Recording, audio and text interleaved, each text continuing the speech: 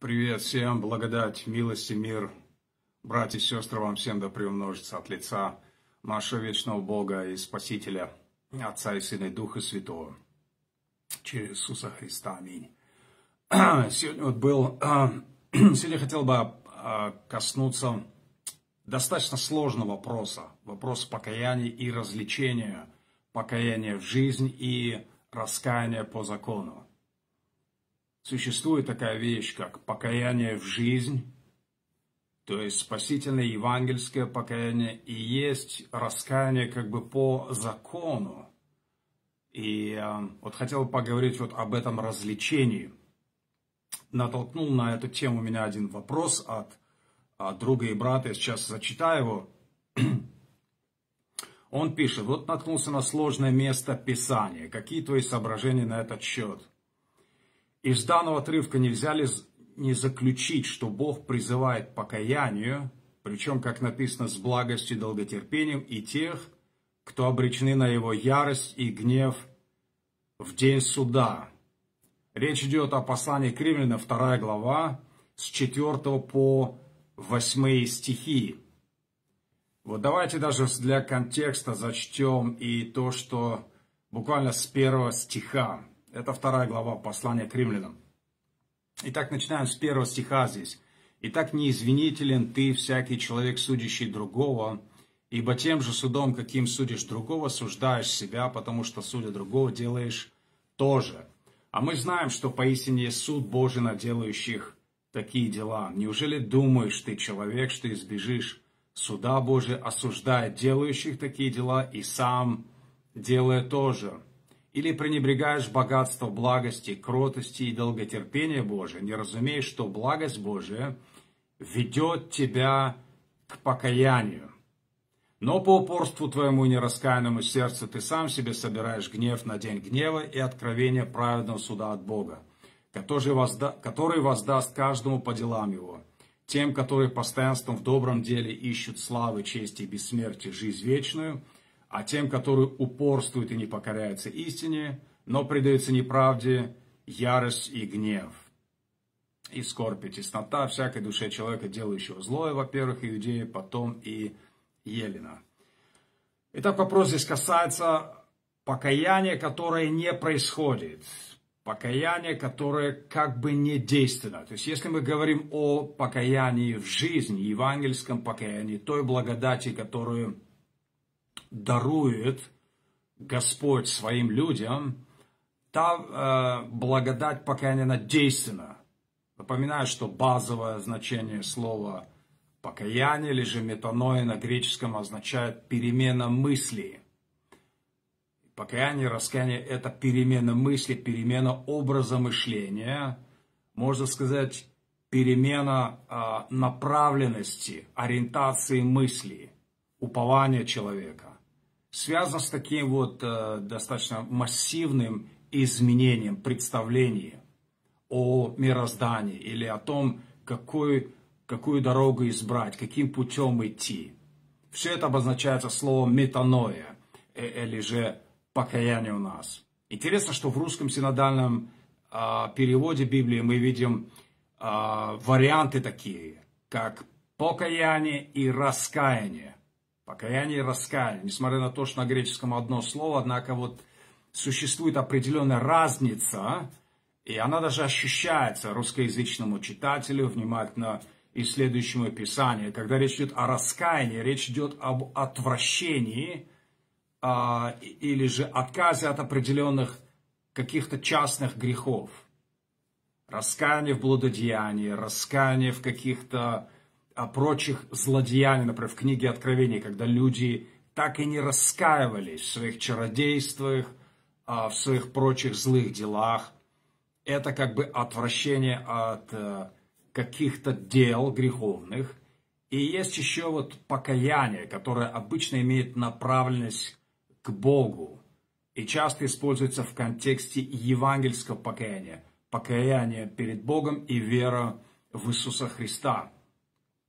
Вот. А первую очередь, покуда мы зачитали а, вторую главу римлянам, здесь трудность для друга и брата заключалась в том, что Написано здесь четвертым стихом, или, не, или пренебрегаешь богатство благости, кротости и долготерпения Божия, не разумеешь, что благость Божия ведет тебя к покаянию.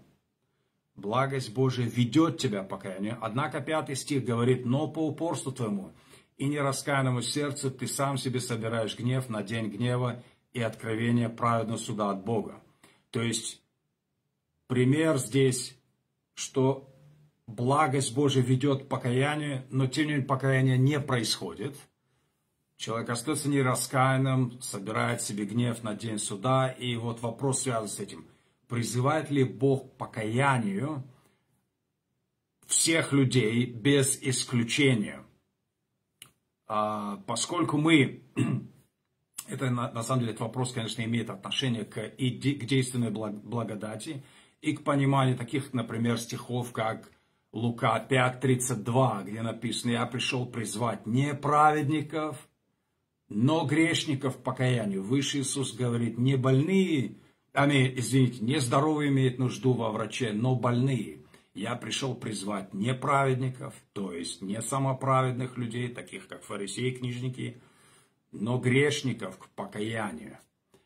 И то, что в книге Деяний мы читаем, что всего Христа Господь возвысил а, начальника и спасителя для того, чтобы даровать Израилю и покаяние, и отпущение грехов. Да?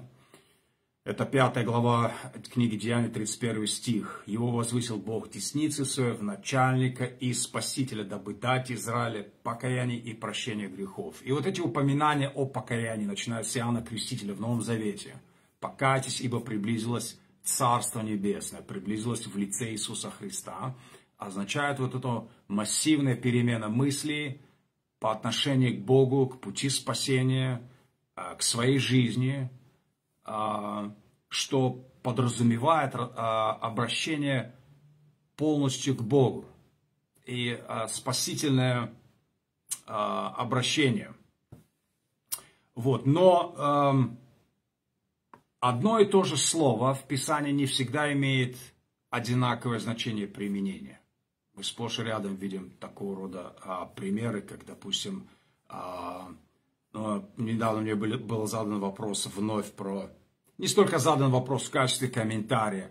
2 Петра 2.1. Были также лжепророки в народе, так же, как будут лжеучители, которые ведут пагубные ереси, даже отвергаясь искупившего их Господа. Вот искупление – что говорит, вот видите, если они отверглись искупившего Господа, означает, что искупление может быть недейственным, и что в конце дня зависит от желающего, от подлезающегося, сохранит ли человек спасение или нет. Стандартная армянская позиция. Вот. А не всегда приобретение или искупление означает спасительный оттенок. И в, та, в том а, стихе 2 а, Петра 2.1 вполне вероятно, поскольку не упоминается цена искупившего крови и слово переведен нас Господь, на самом деле, деспотес, владыка. А, это может означать общую принадлежность к народу Божьему, что принадлежность к заветному народу не означает спасительную принадлежность. И эти люди, которые по исповеданию называют себя христианами, тем не менее делами открещиваются от Господа, который, как они исповедуют, искупил их. Я уже обращался к этому месту, но это как пример того, что не всегда э, мы можем просто взять слово и сказать, оно должно иметь везде одинаковое значение. Или, например, слово «мир». Слово «мир», «космос» в Новом Завете у, у евангелиста Иоанна, как разнообразно оно используется. И это тот мир, который возлюбил Бог, и также мир, который ненавидит вас, мир, который лежит во зле – дано указание также не любить мира, не того, что в мире, в первом послании Иоанна, а, и так далее. То есть не всегда одно слово имеет униформистское значение во всех местах, не всегда используется одинаково. То же самое относится к словам «все», «всякий» и так далее. Так вот, покаяние тоже слово такое, что используется как минимум а, в двух ипостасях. А, это может быть означать вот это вот евангельское покаяние, или же спасительное покаяние, если хотите, обращение в жизнь, о котором говорят, например, э, упоминают иудеи, говоря о Корнелии и о семье его, видно, Бог дал и язычникам покаяние в жизнь. 18 стих из 11 главы Деяния. Это покаяние, которое э, к спасению в жизнь. Вот. Но есть также покаяние, которое я объясняю как раскаяние по закону. Это угрызение совести по поводу каких-то конкретных дел. Или же просто признание своей греховности, что можно назвать законным или же легальным покаянием, не обязательно евангельским. Ну вот, например, тот же самый пример из второй главы Римлянам, то, что мы зачитали, что благость, долготерпение, общее благорасположение Бога к своему творению, то, что Он посылает дождь на праведных, неправедных, то, что получает, посылает лучи солнца, дает все, в принципе, необходимое для жизни людям.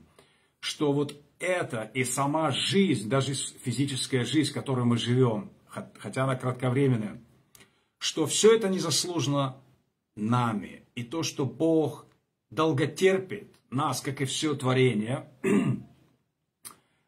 это должно вести человека к покаянию, к признанию того, что мы, конечно же, согрешили. Мы согрешили даже по закону совести. Не разумеешь, что благость Божия ведет тебя к покаянию. Можно перевести это место как все это, вся благость Божия, долготерпение, кротость, это должно, по идее, вести тебя в покаяние. Однако ты остаешься, пятый стих, по упорству твоему и нераскаянному сердцу, ты сам себе собираешь гнев на день гнева откровения праведного суда от Бога. Это то же самое, как, например, в послании к евреям говорится, что когда делает доброе даже врагам своим, если враг твой голоден, накорми его. Если он жаждет, дай ему воды. И так соберешь ты угли на голову его.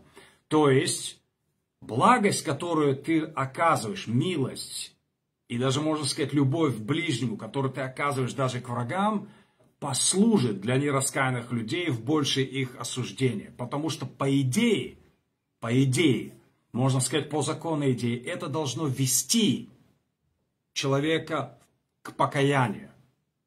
Но мы знаем, как неблагодарно сердце человеческое по природе, как мы склонны воспринимать все, что мы хорошее принимаем от Бога, а, как должное, как если бы, как в рекламе говорится, вы этого достойны, вы, вы, вы ведь этого достойны. Люди живут, рождаются в этом мире, вкусно едят, наслаждаются хорошей погодой, используют много благ, которыми, которые дает им Бог и наслаждаются природой и так далее, но не воздают благодарность Богу. И это не ведет их к покаянию. Именно эта мысль здесь имеется в виду. То есть это не евангельское покаяние, а покаяние как признание, скорее того, что мы грешники, мы ничего не заслуживаем, а Бог так благ и милосерд. Можно сказать, что это раскаяние или же покаяние по закону, которое общее всем людям. То есть должны бы, по идее, каяться все люди, признавать свои проступки, свои плохие дела и обращаться к Богу. В этом смысле это такой вот закон по закону покаяния. Вот, существует, однако, евангельское, ну, еще вот как пример э, вот такого покаяния, которое не обязательно покаяние в жизнь, да, не обязательно евангельское, приходит в голову э, в книге Деяний, например, обращение к Симону, волхву, и говорит 22 стихом 8 главе Деяний, «Так покайся в этом грехе твоем и молись Богу, может быть, отпустится тебе помысел сердца твоего». Обратите внимание, может быть, и так покайся в этом грехе. То есть речь идет о том, чтобы признать неправоту данного греха. То есть э, то, что он хотел через деньги, с помощью денег, с помощью э, вот этого неправильного богатства заполучить власть для того, чтобы возлагать руки и передавать Духа Святого. То есть он хотел капиталом, деньгами приобрести духовное благословение. То есть что э, для прибытка как бы использовать все это. Как современные харизматы, которые делают деньги на вот этих всех исцелениях и так далее, имя себе сколачивают. Он говорит, покайся в этом грехе и молись Богу, может быть, отпустится тебе помысел сердца твоего. Здесь мы видим вот пример именно такого покаяния. И здесь нужно упомянуть тот факт, что в покаянии должен быть такой элемент, как угрызение. Угрызение, сожаление о грехе соделанном. Иногда, в особенности в русской культуре, вот этот аспект подчеркивается очень сильно, неправомерно сильно. То есть покаяние, это обязательно должны быть слезы, это должно быть э, сильное сожаление и угрызение. И это сильно подчеркивается, в особенности вот в такой вот монашеской, православной культуре. Вот. Но это, этот элемент, он не составляет полноту покаяния, в особенности евангельской, вот этой перемены мысли, когда человек разворачивается от, в том числе, того, что как он полагался на свои силы, на свою праведность, на свое упование, он раскаивается в этом и всю веру, свое упование помещает на Христа. В этом, именно в том, что я сейчас говорю, в этой перемене мысли состоит основная суть или соль, так сказать, покаяния. Но тем не менее, покаяние может быть вот таким, по закону или касающимся конкретного греха. И в этом смысле оно может быть э, не действенно в том плане, что Бог ожидает даже как определенное покаяние, а оно не происходит. И здесь нет противоречия с благодатью покаяния в жизнь. Еще вот вам пример такого э, покаяния по закону. В книге Откровения у нас несколько таких примеров. Просмотрим только один сейчас, очень кратко. Это во второй главе где уже идут послания э, к церквам в Малой Асии и к Феатирской церкви, когда идет обращение, обратите внимание, Господь обращается к ангелу Феатирской церкви и говорит 20 стихом, «Но имея немного против тебя, потому что ты попускаешь жене Иезавели, называющей себя пророчицей, учить и вводить в заблуждение рабов моих, любодействовать и есть идолжертвенное, 21 стих. «Я дал ей время покаяться в любодеянии ее, но она не покаялась. Вот я повергаю на одр любодействующих с ней великую скорбь, если не покаяться в делах своих». Вот видите, здесь написано 21 стихом, «Я дал ей время покаяться». Или дал ей место покаяться. В King James там переводится интересно. I gave her space. Дал ей, дал ей воз, возможность или место покаяться, но она не покаялась. А, ясно, как бы говорится. То есть это речь идет о том, чтобы покаяться вот в этом конкретном ее грехе. И здесь как бы долготерпение Божие ожидает. Скажите, а почему ожидает Бог что-то от человека, если человек не способен это сделать? Но как же Богу судить мир? Как же Богу еще судить мир? Человек создан, не имеет сейчас, но создан был по образу и подобию Божьему. Он разумеет делать добро, но не делает этого добра.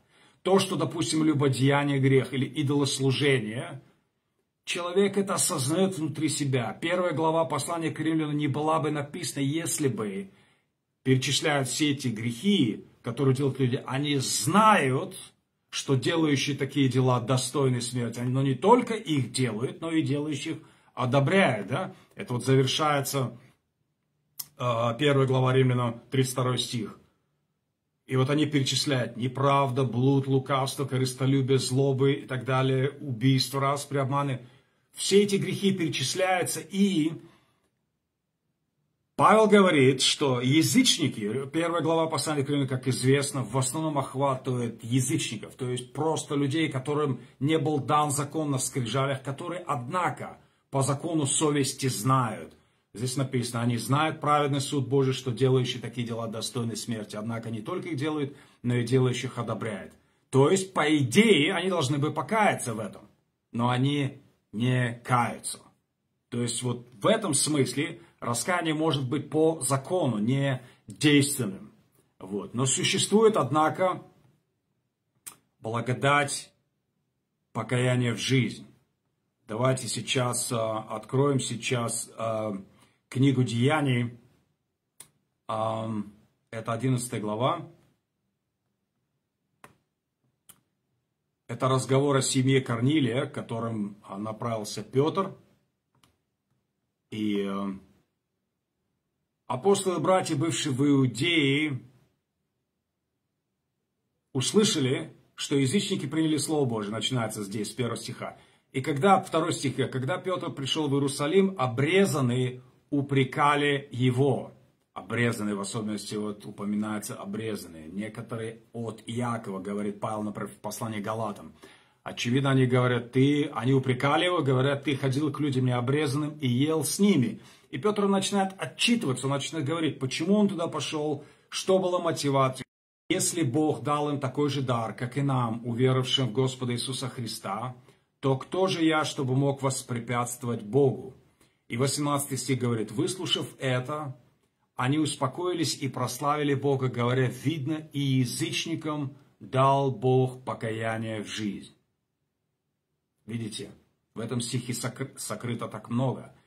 Обрезанные успокоились и прославили Бога, услышав о том, что Бог совершил даже среди язычников. Вернее, Он начал только совершать это среди язычников, и Корнилий, римский, а, не, не, не из иудеев, является первородным начатком, начатком из язычников, которые обратились, которых Господь покрестил Духом Святым, так что они даже на иных наречиях стали славить и благодарить Бога, они обратились от проповеди апостола Петра.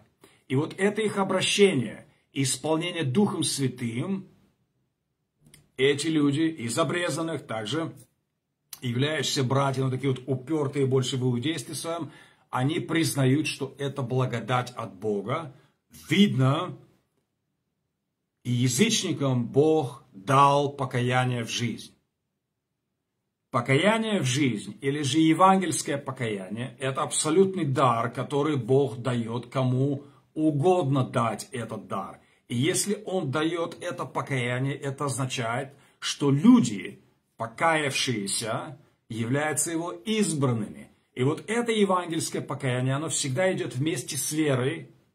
Когда люди говорят, что должно быть прежде покаяние, а потом вера, или вера, покаяние – а, я бы сказал, что они идут вместе. Это две стороны одной и той же монеты.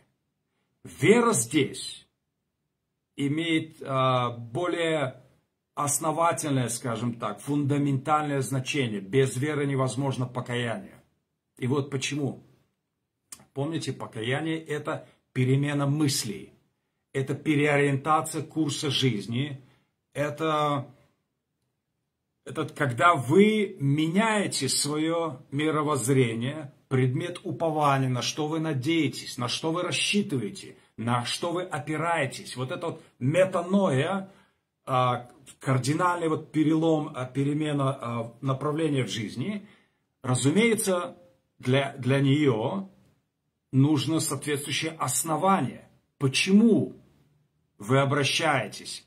Почему вы полагаетесь теперь только вот на это, в то время как раньше вы считали, что правильная дорога будет идти вот таким путем. Это происходит по, после того, как вы узнаете, то есть получаете определенную информацию, весть, Евангелие вы слышите. И Господь дарует веру, уши слышащие, глаза видящие, сердце восприемлющее своим людям. И о таких Павел говорит, зная избрание ваше, потому что благовествование наше было у вас не только в слове, но и в силе. Как он пишет это в Фессалоникийцам. Когда Бог дает покаяние в жизнь, люди обращаются от тьмы к свету. Но для того, чтобы они обратились от тьмы к свету, у них должна быть вера. И можно сказать, что вера логически, вера во Христа, она предшествует покаянию.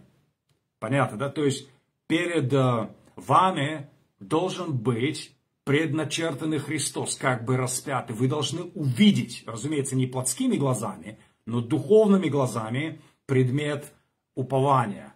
И вот уже потом происходит это покаяние, когда вы слышите радостную весть о Христе, который умер за грешников.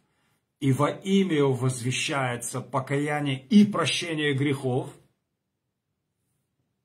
и вы каетесь, у вас происходит вот это самое метаноя, изменение мыслей, когда вы прежде ходили другими путями, ныне вы разворачиваетесь, идете уже в другую сторону. Вот это, собственно говоря, вкратце евангельское метаноя или же покаяние в жизнь.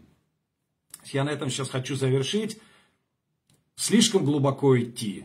Это займет очень много времени и нужно рассматривать очень много текстов, но как бы вот такая вот общая идея и развлечение между э, раскаянием по закону, то есть когда э, ожидается, допустим, благость ведет тебя к покаянию, то есть то, что должны как бы все люди признавать, и главенство Бога, и Его право определяет нашу жизнь, и в то же время то, что мы по природе не делаем даже то, что написано, дела закона написаны в совести. Вот это покаяние по закону должны все люди. И есть еще благодать евангельского покаяния в жизнь, которую Господь дает людям своим. Между ними есть различия, тем не менее слово используется одно и то же. Благость Божия ведет тебя к покаянию, однако ты по упорству, нераскаянному сердцу собираешь себе гнев на день гнева, да, как написано, мы читали. Вот, и в то же время есть покаяние и отпущение грехов, которые изливаются на объектов милости. Итак, Господь додарует нам всем жить и иметь это покаяние в жизнь, и жить э, жизнью покаяния. Как Кальвин замечал и многие другие древние, э, это не, разовый, не разовое действие. Это своего рода постоянный некий процесс. Потому что что касается нашей повседневной жизни, самоупования, э, закоснелости в определенных путях, мы каждый раз, вернее, мы постоянно нуждаемся в покаянии так или иначе. И всякий раз это должна быть вера, покаяние перед Богом и вера в Иисуса Христа. Павел не случайно говорит, покаяние перед Богом и Господь да благословит нас в этом ради Иисуса Христа, который был возвышен, чтобы дать и покаяние и отпущение грехов всему Дому Израиля. Аминь.